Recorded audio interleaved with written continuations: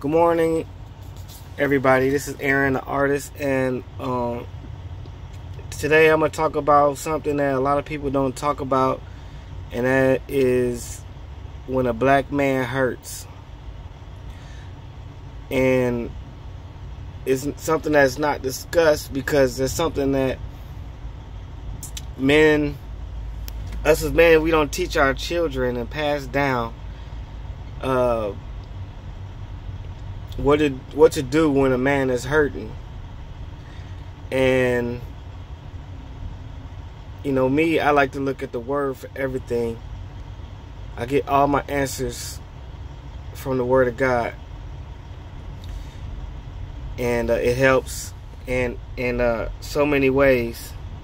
But you know it's hard to talk about and it's because no man wants to admit when he's vulnerable no man wants to admit when he's hurting. It's something that we, as a culture, black men, you know, always have to seem strong. And as black men, we've been so used to being pinned against each other that we fight each other um, in opposition of each other all the time so we can't seem weak. You notice the worldly saying, never let them see you sweat. But since I don't follow the world, Bible said that we're supposed to be in the world but not of it. So what to do when a man is hurting? And I speak from experience when I talk about being hurt or hurting. You know, cause not too long ago, you know, I was heart, I was, I was heartbroken by a woman, and these things black men don't discuss with each other because I, like I said, we got to see, we got to be seen as strong. But that's the reason why a lot of things go on in in uh, in um in black society is because people going around hurting inside and they don't they don't get a chance to talk about it. They don't get a chance to express how they feel or or get things out or allow God to to, to comfort them. What happens is they mask their their their hurt with anger or drugs and alcohol. And ultimately, the problem is still going to be there. The hurt is still going to be there, even if the problem is gone.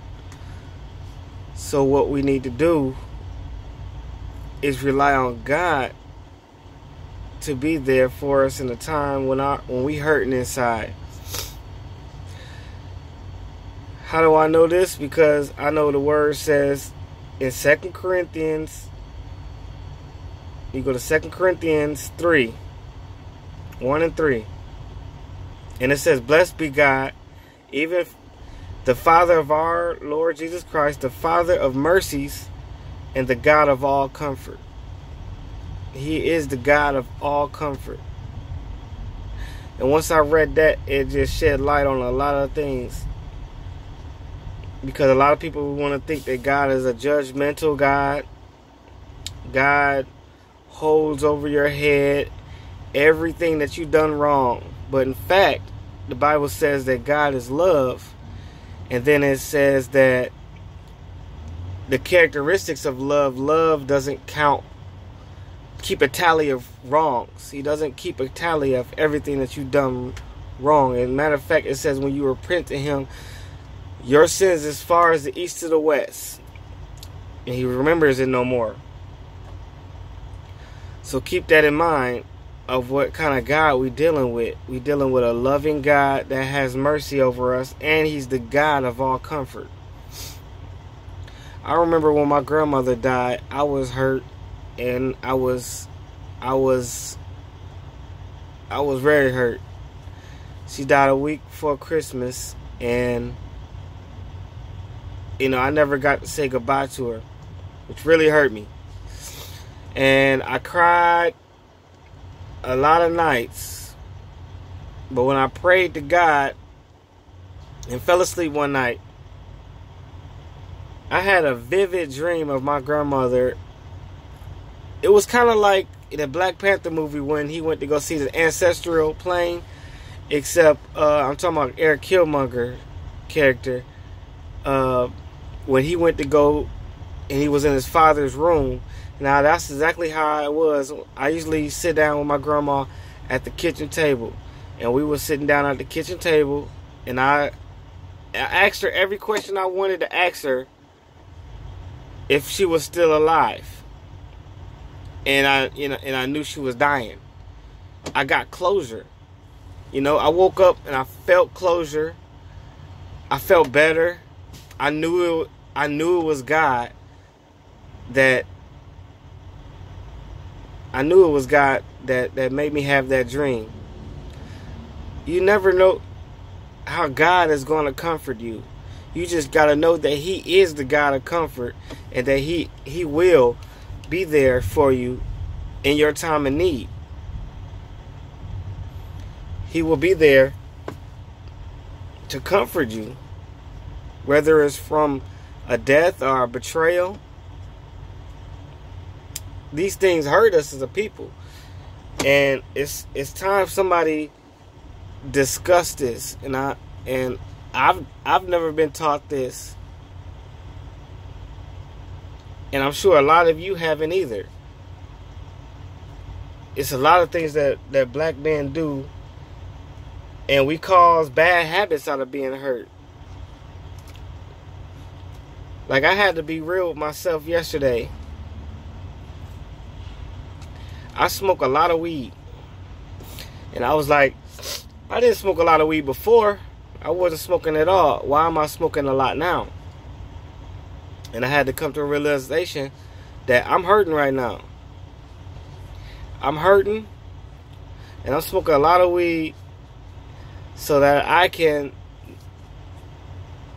you know numb the the fact that I'm hurting. And it works. It works until I'm out of weed and I'm out of money. And then I still got to look to God. Because I still got to deal with my problems on a day to day basis. I can't smoke and be high all the time. So,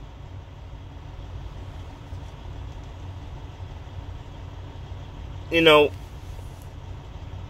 he's still working with me. Day by day, I get stronger, but I also get stronger in the Word, knowing that God's gonna be there, and also, like right now, He showed me that that was the best decision I could have that that could have happened. You know, as far as the breakup, you know, because I've been, you know, betrayed, and. uh I don't want to get into it, but you know, I'm 34, going on 35 now. But you know, anybody at any age could be heartbroken. It's just, you know, not not a lot of people is opening a line of communication to say that they are because other people would just tell you to get over it. You know. Uh, you know, even I do it with my son. Like when he cries, I say, stop crying. Be a man. Stick out the chest. I mean, but it, you can stop crying, but the hurt is still there. It just, you know, we we use that energy for other things. That energy that we could have been using positively we use a negative in a negative way because we hurting. But if you knew that God was the God of comfort, it would I know that that would help somebody. Cuz it helped me so many times. So many times. Just knowing that who God is helps. Because the more you know Him, the more that these promises in this book can be fulfilled in your life. I God bless y'all. I hope y'all have a good day. Keep yourself encouraged and God bless.